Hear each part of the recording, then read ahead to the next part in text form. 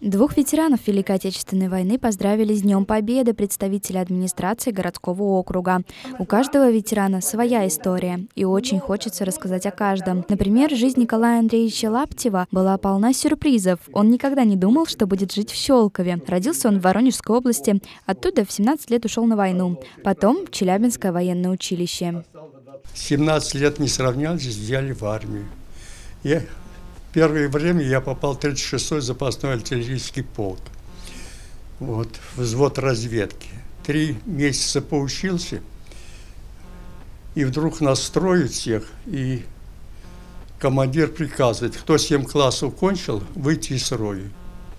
Я выхожу, ну, у нас человек 30 из 200, наверное, вышло, потому что война была, не все, даже семилетки имели.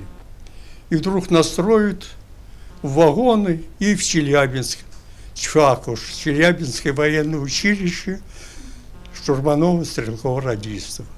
С большой любовью ветеран говорит о своей жене. Прожили они вместе почти 64 года, и в Щелково он переехал ради нее. После войны он продолжил служить, и вместе со своим полком они отправлялись на парад в честь Дня Победы и остановились на Чкаловском аэродроме. Там он и встретил свою любовь, Нино. После у них родилось двое детей. Сейчас у Николая Андреевича есть четыре внучки, пять правнучек и четыре правнука. Также поздравили еще одного ветерана Великой Отечественной войны Раису Степановну Крайнову. Я вам желаю, что, чтобы вы жили под мирным небом, не видели то, что видели мы. И голод, все на свете.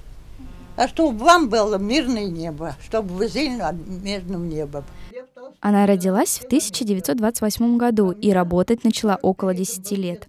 В 15 лет эта смелая женщина внесла свой посильный вклад в победу в войне. Она, вместе с остальными жителями своей деревни, создавала оборонительные сооружения и рыла окопы. В 1960-м она переехала в Щелково, отработала на станции дорожный участок в Огудневе 29 лет с занесением в книгу почета. У Раисы Степановны осталась одна внучка, двое внуков и один правнук. 17 мая ей исполнится 91 год.